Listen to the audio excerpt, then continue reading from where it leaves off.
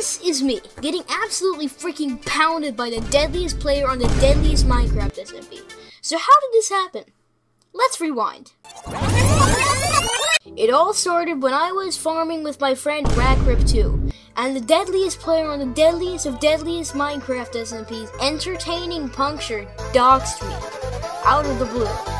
In revenge, I hired 11 of Minecraft's other deadliest Minecraft players, including Eagle X3, Our Machinery, Smite, and many more.